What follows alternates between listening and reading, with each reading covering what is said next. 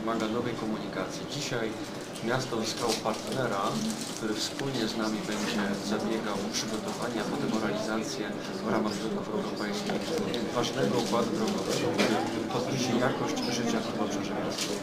Dziękuję. Miasto przygotowuje projekt.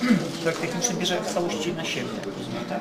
Projekt techniczny to jest zaangażowanie miasta w tym obszarze. Bardzo nam zresztą zależało, by pokazać naszym partnerom naszą determinację i wagę tego przedsięwzięcia, ale także projekt techniczny pozwala precyzyjnie policzyć realną wartość e, tego projektu E, i wtedy bardzo precyzyjnie, trzymając się określonych parametrów, które żeśmy przedyskutowali, rozdzielić wkład własny między uczestników tego przedsięwzięcia.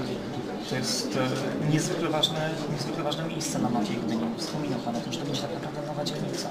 Nie tylko nowa dzielnica, ale nowe śródmieście. To ma zawsze dwa znaczenia, bo to z jednej strony dla ludzi tu mieszkających niezwykle cenne, ale też ta dzielnica jest tak projektowana, żeby ona pełniła też funkcje śródmiejskie, a więc atrakcję ważną z punktu widzenia mieszkańców nie tylko Gdyni, całego miasta, ale także całej metropolii i całego regionu, gości, którzy tu będą przyjeżdżali. To jest dzielnica wtopiona bardzo silnie w morze. Dzielnica, w której u stóp budynków mieszkalnych można trzymać łódź, z którą się po prostu wypływa wprost spod domu na pełne morze. E, To jest niezwykła atrakcja i chcemy, by ta jakość życia była w każdym wymiarze. Stąd bardzo ważnym elementem jest zwrócenie uwagi zawczasu. Bardzo często w Polsce jest tak, że najpierw powstają przedsięwzięcia, a potem wszyscy się łapią za głowę i zaczynają budować drogi, bo już gdzieś nie można dojechać. My chcemy odwrócić sytuację. Chcemy najpierw przygotować infrastrukturę. Ta podziemna już jest przygotowana, teraz chcemy skupić się na rozwiązaniach drogowych, zanim będą tu powstawały projekty inwestycyjne, a przynajmniej równolegle do ich powstawania, tak żeby wszyscy ci, którzy tu będą mieszkać, pracować, odpoczywać, korzystali z dobrodziejstwa dobrego układu komunikacyjnego. Na jakim jest e, etapie ta inwestycja? Jesteśmy na etapie zlecenia projektu. Projektowanie takiego układu komunikacyjnego to jest czas od roku do półtorej, w zależności od firmy, którą wyłonimy do projektowania. Ale to jest czas tak zaplanowany, byśmy byli gotowi y, złożyć aplikację w okresie y, budżetowym 2014-2020 i na początku tego okresu mogli skorzystać ze środków europejskich.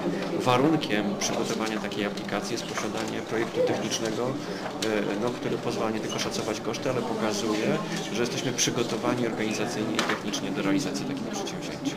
Dużo się zmieni, jeśli chodzi o ten układ komunikacyjny? powstaje w gruncie rzeczy zupełnie nowa jakość. E, Jeżeli e, dzisiaj potrafimy sobie wyobrazić, że z terenu dzisiejszego Dalmoru na północ, czyli w kierunku Nautly, e, będzie poprowadzona dwupasmowa w każdym kierunku droga, która wyprowadzi ruch aż do Janka Wiśniewskiego. To jest tak naprawdę rozwiązanie komunikacyjne, które łączy nie tylko z układem komunikacyjnym Gdańsk-Gdynia e, tę nową dzielnicę, ale także w sposób bardzo sprawny przez układ Janka Wiśniewskiego i trasy Kwiatkowskiego wyprowadza ruch na e, Gdyńską obwodnicę dalej na autostradę A1, a więc no bardzo dobre, nowoczesne i śmiałe skomunikowanie śródmieścia Gdyni, ale w układzie regionalnym czy nawet krajowym. E, Czy jakiś e, program, jeżeli chodzi o firmy, które miałyby się w tej nowej dzielnicy pojawić, e, czy już jakiś program oferty jest przygotowywany, czy na razie jeszcze za wcześnie, żeby o tym mówić?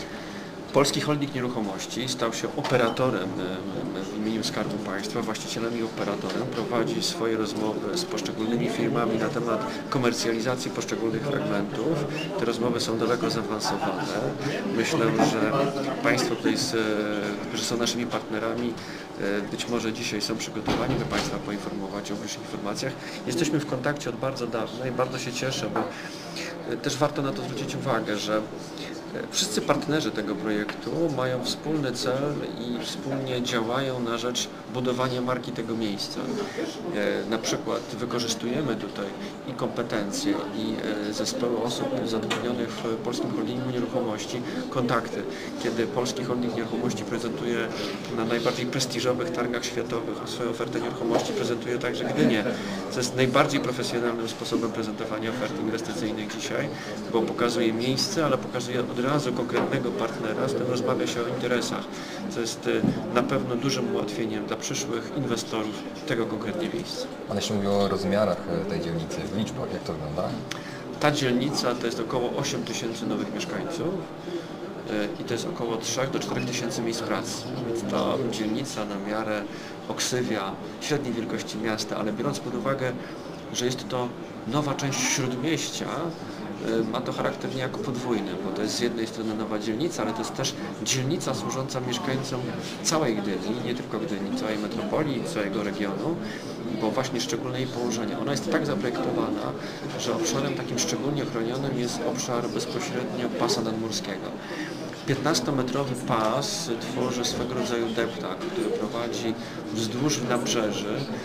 Budynki zlokalizowane przy tym pasażu mają funkcje usługowe, czytaj restauracje, kluby, knajpki, które mogą wychodzić na morze, powodując niezwykłą atrakcyjność tego miejsca nie tylko dla mieszkańców, ale też dla wszystkich, którzy kontakt z morzem, właśnie możliwość skorzystania z niezwykłej atrakcji, jakim są pomosty, łodzie, e, które mogą cumować tuż przy domu osoby, która być może właśnie dzięki temu będzie mogła nie tylko tu dobrze odpoczywać, mieszkać, ale realizować swoje pasje. Mhm. Czyli mówimy też o takiej nowej jakości turystyki w Gdyni?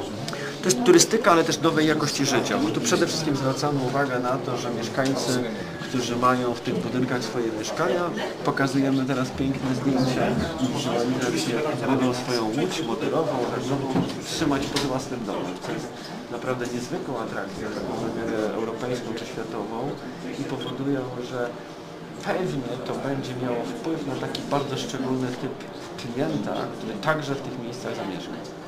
Panie prezydencie, mówiliśmy y, o inwestycjach drogowych. Jest inwestycja przebudowy ulicy Waszyngtona i przedłużenie ulicy Węglowej oraz poszerzenie jezdni czterech pasów ruchu. Czy to będzie w tym samym czasie, kiedy Tak, to wszystko jest realizowane tak, bo będziemy różne, różnym partnerom, którzy tu realizują, realizować różne role. Wcześniej realizuje swój projekt Swile Center, to jest firma, która ma ten od dawnej Rika, od Towers do Wilni. Oni mają już swoje zadania mówiąc w one się wiążą z obowiązkami w obszarze przebudowy całego układu komunikacyjnego od swojego ścieżki de facto tutaj do Chmielnickiego. Waszyngtona, ale tutaj z całymi tymi przeległościami. Żeromskiego, skrzyżowania, światła, przebudowa tych skrzyżowań. E, Nauta i e, e, Polski Chodnik Nieruchomości. E, Ja jestem też, dzisiaj o tym nie mówiłem, ale miałem godzinę temu spotkanie przy okazji wstępu w Stoczni Nauta, rozmawiałem z panem prezesem. E, z panem prezesem Nauta, pan prezes e, Agencji Rozwoju Przemysłu taki właściciel nauty, czyli tego, tak jak troszkę Polski Holding Nieruchomości w stosunku do Dałmorza, tam Agencja Rozwoju Przemysłu i nauta są w podobnej relacji. I wspominałem o tym rozwiązaniu i jest też bardzo zainteresowany, żeby być partnerem takiego porozumienia, tak zliczone w krótkim czasie takie analogiczne porozumienie tu wypracowane w detalach będziemy podpisywać e, z Agencją Rozwoju Przemysłu, e, pokazując także, bo to jest, e, to porozumienie ono także bierze się z jednej rzeczy, że dla rozmów prowadzonych bardzo konkretnie z poszczególnymi zainteresowanymi na to mieszkanie uchodźców, rodzi się pytanie, dobrze, ale kiedy i na jakich zasadach, czy w ogóle ta droga ona pozostanie na papierze, czy ona rzeczywiście się zdarzy. Pokazujemy realną ścieżkę i możliwości partnerów, którzy biorą na siebie realizację tego zadania, no, też y, poprawiając, pokazując, że, że to nie jest tylko plan zagospodarowania przestrzennego, to jest realny projekt, który już jest w obszarze projektowania, mam nadzieję także będzie pewnego rodzaju zachętą do zainteresowania. Czyli to mniej więcej w tym samym czasie nie żyję pytania w tym samym czasie.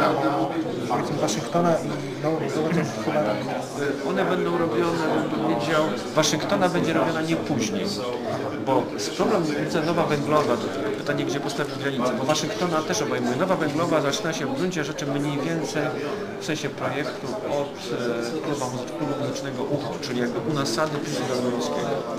I tam w tamtą stronę, w kierunku jakby dalej Nauty i łukiem ona wzdłuż torów będzie szła Jarkawa i Wiśniewskiego.